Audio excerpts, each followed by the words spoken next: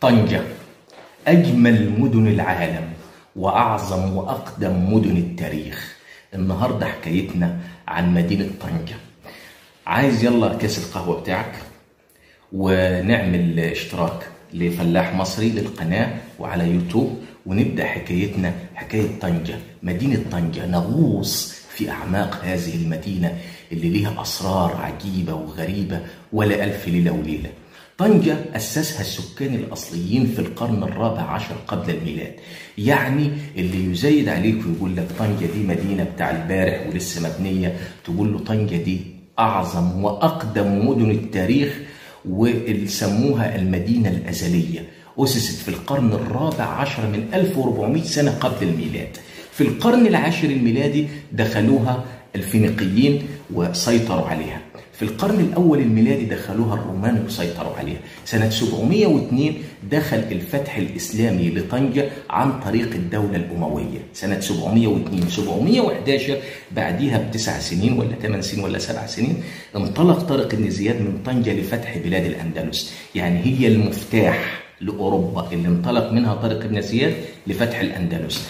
سنة 740 حصلت ثورة في المغرب في طنجة بالتحديد اسمها ثورة البربر. الثورة دي أنا كنت اتكلمت عليها قبل كده في بشكل عام في لقاء سابق لكن النهاردة هنوضح الثورة دي التي نقلت التي جعلت المغرب وطنجة عصيا على كل الخلافات الأموية والعباسية والعثمانية. سنة 740 كان الخليفة الأموي هشام بن عبد الملك ولا حاكم على طنجة اسمه عبد الله بن الحبحاب السلمي. عبد الله بن الحبحاب السلمي ده كان راجل ظالم وكان بيضطهد الأمازيغ أو كان بيضطهد السكان الأصليين لهذه المدينة اللي هي مدينة طنجة. فأهل طنجة اجتمعوا وقالوا إحنا نرسل وفد من المدينة من مدينة طنجة لهشام بن عبد الملك. يلتقي بهشام ويشكو ليه ظلم الحاكم بتاعه. ففعلا جه واحد اسمه ميسرة المطغاري نقول ميسرة المطغاري بالطاء وممكن نقول ميسرة المدغري بالدال وهو زعيم القبيلة أحد القبائل اللي تنتمي لقبائل زناتة أخذ وفد من كبار القوم معاه وسافروا راحوا دمشق علشان يقابلوا هشام بن عبد الملك. فلما وصلوا دمشق الوزير الأبرش الكلابي منعهم من مقابلة هشام بن عبد الملك فأصروها في أنفسهم ورجعوا. لما رجعوا قالوا إحنا أولى ببلادنا فعملوا ثورة اسمها ثورة البربر قتلوا عبد الله بن الحبحاب السلمي وسيطروا على المدينة وسيطروا على طنجة. فلما عرف هشام بن عبد الملك أرسل جيش مكون من 12 ألف علشان يحارب الطنجويين ويحارب ميسرة المطغري ولكنهم انتصروا عليهم. وظلت هذه البلاد من هذه النقطة الفاصلة في التاريخ خلاص ما بقتش في ما بقتش بلاد المغرب العربي بتتبع لأي خلافة من الخلافات العظمى الثلاث خلافات اللي جاهم سواء الخلافة الأموية أو الخلافة العباسية أو الخلافة العثمانية الأتراك. فضلت طنجة بالشكل ده لحد سنة 791 لحد ما دخلوا الأدارسة. سنة 904 دخلوا الفاطميين طنجة وفرضوا المذهب الشيعي شيعوا المدينة.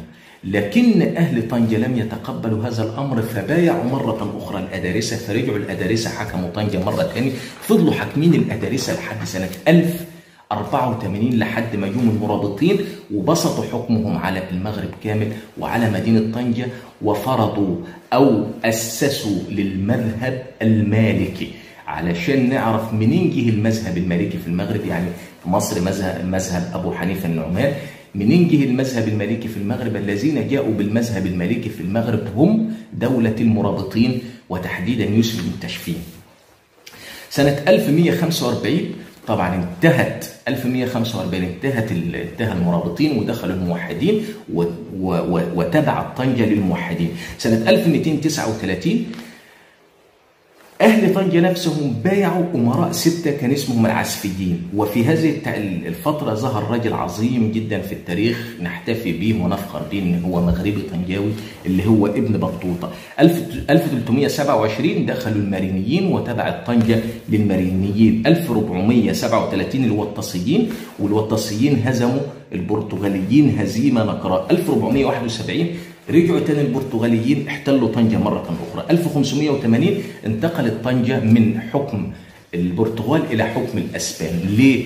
لأن البرتغال وأسبانيا كانوا مملكة واحدة وبعدين انفصلوا فأصبحت مملكة البرتغال لوحدها ومملكة الأسبان لوحدها وبعدين انتقلت طنجة لمين؟ انتقلت للإنجليز حين يعني حاجة عظ... حاجة غريبة جدا حين أهداها الملك تشارلز الثاني إلى أهداها كمهر أمهر بها الأميرة كاترين لما جه يتجوزها.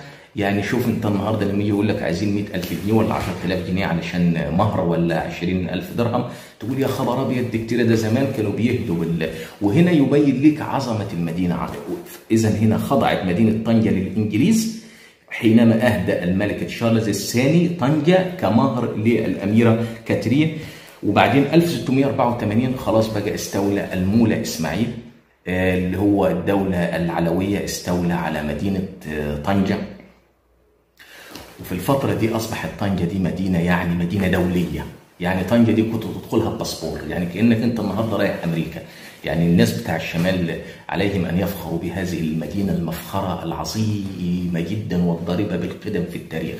كل ده اللي إحنا بنحكيه كل ده الناس كاملة عايزة تسيطر على مدينة طنجة. 1844 الفرنسيين قصفوا طنجة. قصفوا طنجة ليه؟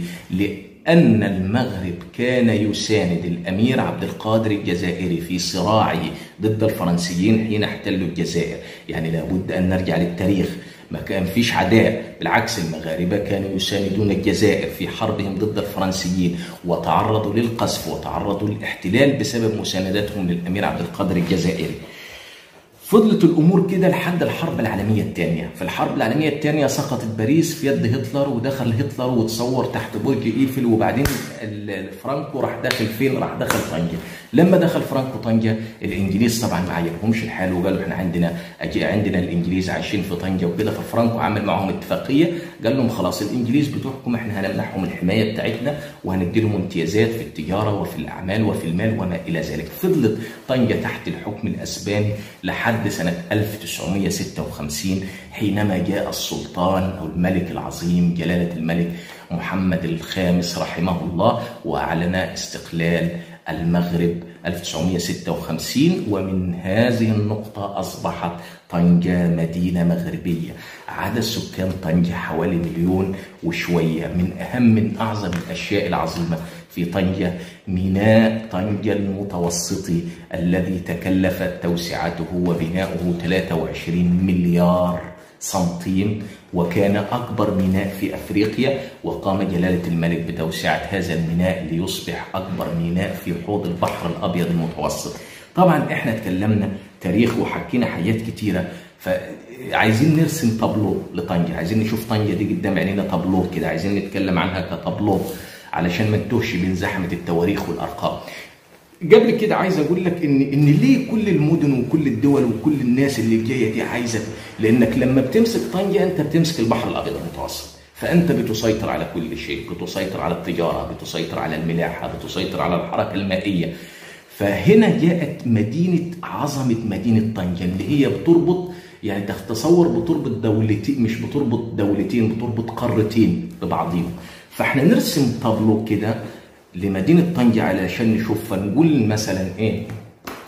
نقول حين تقف على شاطئ المتوسط لحظة المغيب وترى السماء تنحني في كبرياء لتعانق أسرار البحر وتلمح في عيون الأولاد أحلام وأمنيات إلى البر الآخر. فأنت حتما في طنجة فتاة المغرب المدللة التي تغتسل صباحا بمياه المتوسط وتمشط شعرها مساء على أنغام موسيقى الأطلسي.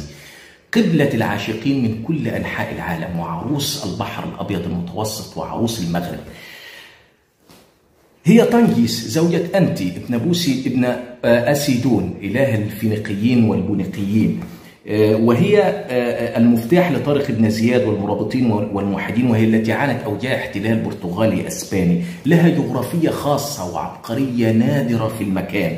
هي المعبر إلى أوروبا بثقافتها والمدخل إلى إفريقيا بأصالتها. هي المائدة المستديرة لبلاد حوض البحر الأبيض المتوسط. وحين تغازل طنجة كفتاة رائعة الحسن تجد أنها ترتدي أجمل الثياب. المتمثلة في الأسوار والحصون والكنائس والمساجد والأبواب والقصور والنافورات والحمامات والأسواق والقنصليات ونزل الأجانب. إنها مزيج من الأصالة والمدنية. وكما أن لها جغرافية خاصة فإن لها سيكولوجية نادرة. فترى أهلها دائما تعلو وجوههم الابتسامة ويرحبون بالغريب فحينما تكون في طنجة فأنت دائما وسط أهلك ولا بد أن تجد لك أصدقاء. فطنجة مدينة تتحدث كل اللغات فأهلها يؤمنون بالرأي والرأي الآخر وهم منفتحون على كما أن مدينتهم منفتحة على العالم فإنهم أيضا منفتحون على الآخر. مدينة تحمل بين جنباتها عبق التاريخ. وسحر الحاضر وأمل المستقبل. إنها طنجة التي أسميها مدينة الأحلام والتي كتبت فيها أنا الطنجاوي على الرأس أنا الطنجاوي رحالة مفتاح البحر أنا القبطان أنا الطنجاوي ابن الناس عاشق الكورة وبلادي وطنجة العالية واللافة عروس البحر محروسة بإذن الله. إحنا الطنجاوة يا خاوة أنا البحار. هذه مدينة طنجة العظيمة بتاريخها بثقافتها. ومهما طبعا نقول ونحكي في مدينة طنجة وعظمة مدينة طنجة وتاريخ مدينة طنجة مش هنكفي. هنختار دائما هنختار